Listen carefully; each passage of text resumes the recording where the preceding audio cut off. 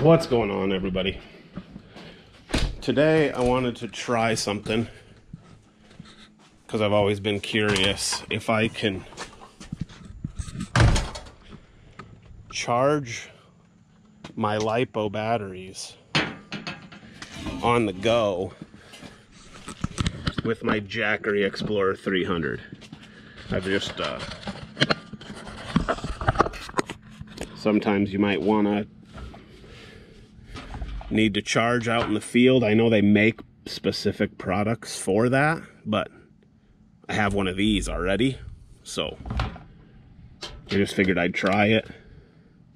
It is 100% charged, and this thing has been sitting for I don't even know how long without being used, and it's just held that 100%. Like I didn't top it off or anything like that. But anyway, I've got Spektrum S2100 smart charger, um, Spektrum Smart 3S 5000, and we're just going to see if we can charge it. I don't know if this will do it or not, but.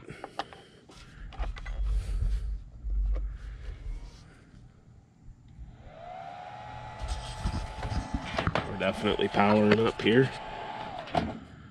No battery detected, which makes sense because there's no battery plugged in. So we'll do plug this in,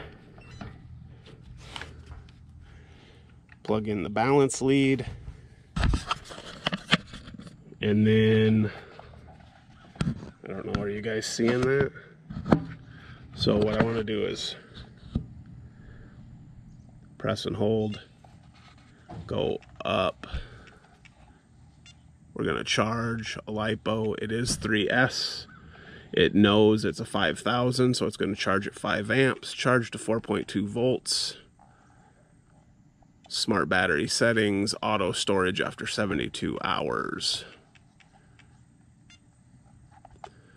And that's what I really like about those Spektrum batteries is that auto storage. It kind of takes the I don't know if it's risk or what it is, but it kind of takes that out of the equation for, you know, if you don't use it or whatever. It's just it's just a it takes care of a step for you. And I like that. So anyway, charge LiPo 3S 5 amps. Start. And what's this thing? Pulling. I mean, that thing's only pulling 9 watts. Oh, there it went to 21 watts. 36 watts. 60 watts. Can you guys even see that?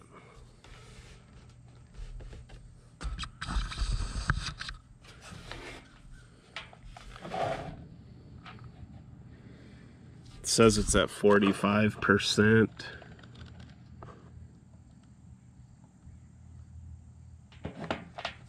It's pulling 67 watts. We're gonna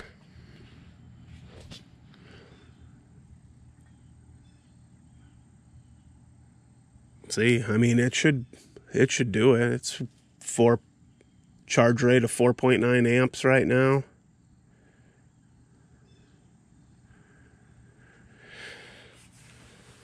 So this is a 300 so it's like 296 or 298 watts or something. So at if it pulled 50 watts, I would be able to get six hours out of it. Which it'll charge a battery in six hours, I would I would think. This thing says the charge time remaining is 40 minutes, but it it calculates that as it goes. I don't think it'll even take 40 minutes, so I don't know. We'll uh we'll see what happens here.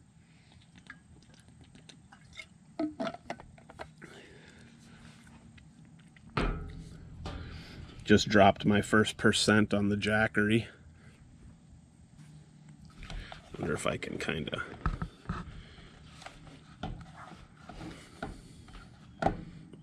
that up somehow.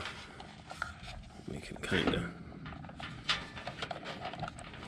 get it all get it all happening.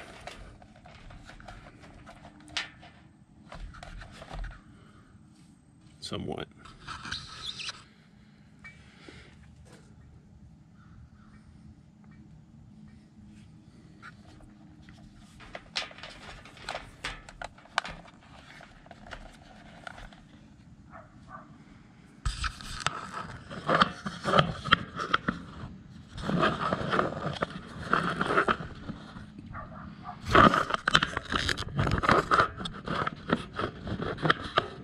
I don't know if any of that's even visible to you guys.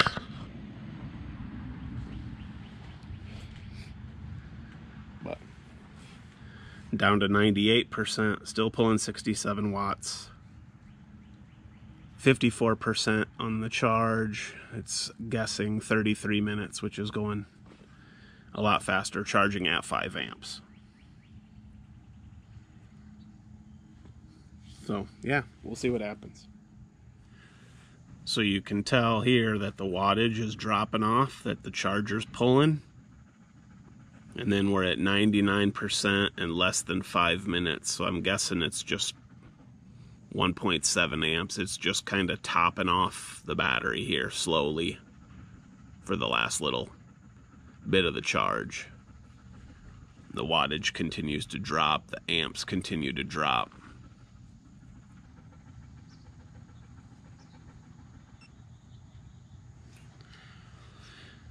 And we just completed there. So, green bar, charge done.